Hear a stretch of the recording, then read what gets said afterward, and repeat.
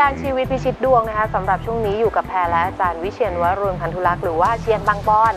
นะคะ อาจารย์คะเมื่อเสาร์อาทิตย์ที่ผ่านมาไปงานดวงเอ็กซ์โปมาครับ มีแฟนข่าวอาจารย์มาถามถึงด้วยนะคะที่บูธ Miracle ของเราครับ เออบอกว่าติดตามชมรายการตลอด แล้วก็มีบอกบางคนบางท่านนะคะไปหาอาจารย์มาแล้วด้วยครับนะคะ ตามไปถึงที่ ตามไปถึงที่ครับ ดีฮะนะคะ ไม่ได้ตามบางคนตามไปหาเบอร์โทรศัพท์ เออนี่ต้องบอกว่าอาจารย์นี่แฟนคลับเยอะมากครับ นะคะไม่ธรรมดาทีเดียวอะเอาละค่ะเข้าเรื่องของเรานะคะ เดี๋ยวจะมีพูดคุยสายสดกันนะคะ 0 2 4 9 6 0 4 9 3 และ 0 2 4 9 6 0 4 9 4 และทาง SMS นะคะ พิมพ์ VD ค่ะ ตามด้วยวันเดือนปีเกิด แล้วเวลาเกิดนะคะ แล้วก็ปัญหาที่ต้องการจะถาม ส่งมาที่ 4221606 นะคะสำหรับช่วงนี้เราไปตอบ SMS กันต่อค่ะ จากคุณธัญทรนะคะ เกิดวันจันทร์ที่ 20 มิถุนายน ปี 03 เวลา 11 นาฬิกาตรงนะคะ ถามว่าอีกนานไหมคะ กว่าจะหมดหนี้หลังเดือนเกิดจะดีขึ้นไหมเดือนหน้าแล้ว หลังเดือนเกิดดีขึ้นครับนะค่ะหลังเดือนเกิดจะค่อย ๆดีขึ้นนะครับ แต่ว่าก็ต้องเหนื่อยฮะต้องเหนื่อยอยู่อืมนะครับหลังเดือนเกิดนี้จะเต็ม 55 ย่างเข้า 56ค่ะนะครับเอ่อทีนี้ถามว่าหลังเดือนเกิดเนี่ยจะมีช่องทางใหม่ ๆ ที่จะเกิดขึ้น ก็ถือว่าค่ะก็ก็ดีขึ้นนะฮะ แล้วก็ธุรกิจเนี่ยก็จะค่อยๆเติบโตขึ้นทีละนิด ส่วนค่ะหนี้เนี่ยนะครับเอาเอาว่าหมดเนี่ยยังพูดยากนะฮะเอาเพราะว่าพอสบายมีปัญญาใช้หนี้โดยไม่เครียดนะฮะอืมเอ่อถ้าดูจากในนี้เนี่ยก็ประมาณว่าปีเนี้ยปีเอ่อ58ค่ะ59 60ค่ะนะเอ่อ60ก็ยังเป็นภาระอยู่นะครับ ก็ค่ะประมาณว่าเอ่อ61เนี่ยแหละฮะการเงินถึงจะเริ่มมั่นคงขึ้นอืมหนี่อาจจะหมดใช่ครับ ประมาณ 61 อีก ใช่ครับ 3 ปีด้วยกัน เออแต่ว่าปีเนี้ยจะเครียดหนักหนักมากเลยนะฮะตั้งแต่เออตั้งแต่หลังวันเกิดเนี่ยแต่ว่าการเงินน่ะจะค่อยๆมีช่องทางหาเงินได้ อืม แต่ว่าได้มาก็ใช้หมดเพราะเนื่องจากภาระเยอะ ค่ะแต่ว่ารายได้ดีสขึ้นภาพนะคล่องไม่ค่อยดีนะ แต่ว่าสิ่งหนึ่งที่นิดนึงนะฮะระวังดูแลสุขภาพนิดนึงเพราะว่าดูค่ะมีโรคเครียดนะฮะโรคกลุ่มอืม เครียดอยู่ นะคะดูแลสักนิดนึงอย่าให้เครียดมากครับ ระมัดระวังนะคะ ท่านต่อไปค่ะ คุณปะพาดานะคะ เกิดวันที่ 20 มกราคม ปี 10 แต่ว่าไม่มีเวลามาให้นะคะ ถามว่าความรักเนี่ยจะสมหวังไหมคะ ความรักจะสมหวังไหมอืมอืมคือดวงนี้เนี่ยนะฮะโดยโดยพื้นฐานดวงเนี่ยเป็นคนที่มีชีวิตหวานอมขมกลืนในเรื่องความรักอยู่เสมอ และค่ะความรักที่ได้มักจะเป็นเรื่องของความไม่จริงใจ และมักจะเจอคนมีครอบครัวแล้วเสมอค่ะงั้นถ้าถามว่าเรื่องความรักเนี่ยเออจะดีไหมก็บอกได้เลยว่าชีวิตเนี่ยลำบากมักจะเจอคนที่มีครอบครัวแล้วมาพัวพันค่ะนะครับทีนี้จะสมหวังไหมต้องบอกว่าไม่สมหวังแหละครับนะครับอืมเพียงแต่ว่าเราเลือกคนที่จะพออยู่ด้วยกันได้ก็พอฮะแต่หวังว่าจะให้ดีเนี่ยคงยากอืมนะคะนะครับหวังว่าจะให้ดีเนี่ยคงยากอะสู้ๆแล้วก็ที่สำคัญนะฮะเอ่อถ้าไม่เลือกมากนะฮะเอาพออยู่กันได้เนี่ย มีโอกาสเจอเนื้อคู่นะครับ ค่ะ เดือนสิงหาปีหน้า สิงหาปีหน้า ปีห้าเก้าครับ อืมนะแล้วก็ครัคุบณผู้ชมท่านอื่นนะคะ เพื่อความแม่นยำแล้วก็ชัดเจนมากขึ้นนะคะ ให้ใส่เวลาเกิดมาด้วยเนาะอย่าลืมนะคะท่านต่อไปค่ะ เกิดวันเสาร์ที่ 12 พฤษภาคมปี 05 นะคะ เวลา 10.50 นะคะ คดีความเรื่องบ้าน จะได้เงินคืนหมดอายุความปี 2560อืม คือดวงนี้เนี่ยนะ ถ้าแบบว่าปี 60 เนี่ย คงไม่ค่ะได้เงินคืนแล้ว เพราะดวงนี้มีเกณฑ์เสียทรัพย์ไปแล้วอ๋อนะครับ มีเกณฑ์เสียทรัพย์ไปแล้วแต่ไม่ได้คืนเหรอคะเออคงไม่ได้คืนนะมนะครับ นะ ก็ในดวงเนี้ยจะไม่ได้คืนค่ะนะฮะบ้านเลขที่ 62อะอาจารย์เออ62 เนี่ยเป็นบ้านที่อยู่สบายนะฮะแต่ค่ะชีวิตในบ้านหลังนี้เนี่ย มักจะมีปัญหาว่า มักจะมีลักษณะเสียหนี้บ่อยอืมครับ คือคือบ้านหลังนี้เนี่ยก็คืออยู่แล้วสะดวกสบาย แต่บ้านหลังเนี้ยคนที่อยู่ในบ้านมักเป็นคนที่ไว้ใจคนง่าย เชื่อคนง่ายค่ะ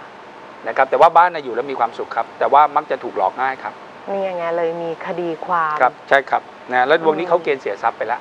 ค่ะต้องทำใจไว้ล่วงหน้าเลยฮะว่าจะไม่ได้คืนแล้วจะมีชีวิตที่ดีขึ้นเมื่อไหร่คะอาจารย์เออชีวิตที่ดีขึ้นเนี่ยก็เริ่มจริง ๆ ก็ตอนนี้ก็เริ่มค่อยๆดีขึ้นนะฮะถ้าไม่คิดถึงหนี้เก่านะไปหาทรัพย์ใหม่ดีกว่าอืม แต่ทุกอย่างก็ค่อย ๆ ดีขึ้นอยู่แล้ว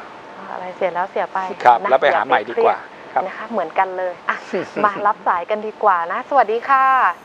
สวัสสดีวัสคดีรับครับ ครับค่ะ คุณอะไรคะพุทธการครับผมครับ ค่ะ พุทธการขอทราบวันเดือนปีเกิดครับค่ะอาจารย์เกิดวันที่ 27 มีนา 2500 ครับ มีนา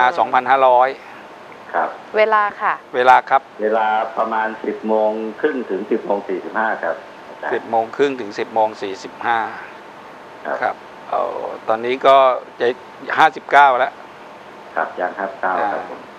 ครับค่ะย่างวันนี้ถามเรื่องอะไรคะ59ดวงคุณตอนนี้เครียดอยู่นะครับนะเครียดมากเลย แล้วสถานการณ์ดวงคุณน่ะค่อนข้างจะย่ำแย่พอสมควรทีเดียว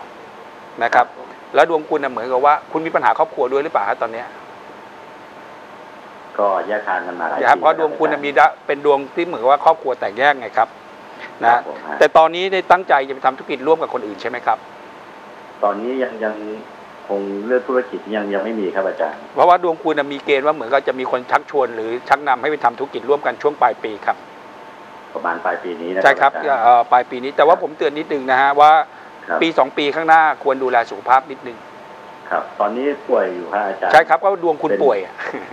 ครับผมฮะเป็นโรคกระดูกหรือเปล่าครับกล้ามเนื้อครับอ่าใช่ครับกล้ามเนื้อครับผมอาจารย์ครับ กล้ามเนื้อแล้วก็กระเพาะอาหารครับ ใช่ดวงคุณเป็นโรคกล้ามเนื้อเส้นเอ็นกระดูก แล้วก็มีโอกาสครับจะผ่าตัดภายในสองปีนี่แหละอ๋อครับปาครัตับดใหญ่ไหมครับอาจารย์ก็ใช่ครับ เพราะว่าในสองปีนี้คุณมีเกณฑ์ผ่าตัดเพราะดวงคุณเข้าเกณฑ์ป่วยไปแล้ว ก็ผมถึงบอกในสองปีนี้ครับพยายามดูแลสุขภาพสักนิดนึงแต่ป่วยแล้วยังอยู่ได้นะฮะไม่ได้ถึงขนาดจะจะต้องจากกันละครับผมครับครับอดทนเอานิดนึงหายครับครับ หายนะครับอจหายครับ แต่ต้องแต่ยืดเยื้อนิดนึงนะครับอดทนเอานิดนึงครับ ครับ โอเคนะค่ะ แล้วมีเรื่องงานนะครับค่ะอาจารย์เอ่อมีปัญหาอุปสรรคอะไรไหมเออการงานเนี่ยเหนื่อยฮะงานของคุณเนี่ยตอนนี้ทำมากเหลือน้อย ครับผมฮะอ่า ถ้ากินเงินเดือนเขาแปลว่าปิดทองหลังพระ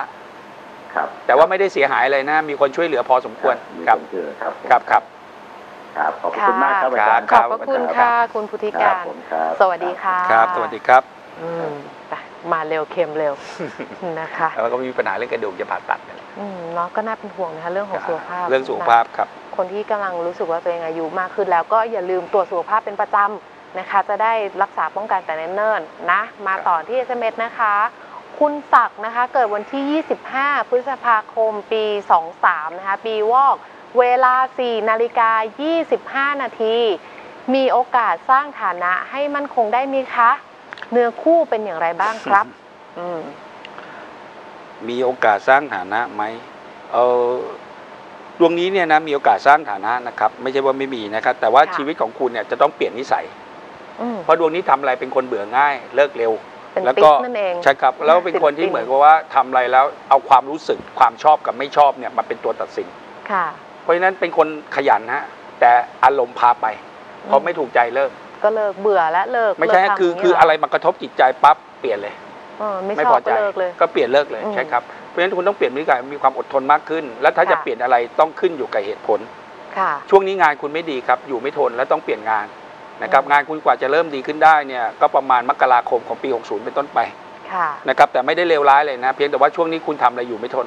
ค่ะอ่าอีกเรื่องหนึ่งที่เตือนนิดหนึ่งนะฮะว่าสุขภาพเนี่ยไม่มีปัญหาแต่ว่าผู้ใหญ่บ้านคุณเนี่ยนะฮะต้องระวังอืนะมโดยเฉพาะผู้ใหญ่คุณพ่อคุณแม่มักจะป่วยด้วยโรคชราค่ะ ในปีนี้นะครับอ่าส่วนการตั้งฐานะเนี่ยเอ่อในดวงคุณเนี่ยจะประสบความสำเร็จจากการสร้างฐานะในระดับที่รับได้เนี่ยนะฮะก็ประมาณอายุ 40 ขึ้นแหละครับอืมนะเนื้อครับคู่เป็นไงบ้างคะเอ่อเนื้อคู่เขาเนื้อคู่ตรงเนี้ยเป็นดวงที่ผิดหวังซ้ำซากอะครับอ่านะผิดหวังซ้ำซากถ้าจะมีเนื้อคู่ก็ประมาณปี ประมาณระหว่างปี 60 กับ 61อะจะเจอเนื้อคู่ครับอืมอะ ลองดูนะคะครับเป็นกำลังใจช่วงนี้ผิดหวังก่อนให้นะฮะแล้วก็ 60 61อะถึงจะได้เจอครับ เข้มแข็งนะคะอะเดี๋ยวพักสักครู่นะคะ ช่วงหน้าพูดคุยสายสดกันที่ 024960493 และ 024960494 และทาง SMS นะคะ พิมพ์วีดีตามด้วยวันเดือนปีเกิดและเวลาเกิดด้วยนะคะ ปัญหาที่อยากจะให้อาจารย์ช่วยแก้ไขให้ 1 ปัญหานะ ส่งมาที่ 4221606 ช่วงนี้ไปพักก่อนสักครู่ค่ะ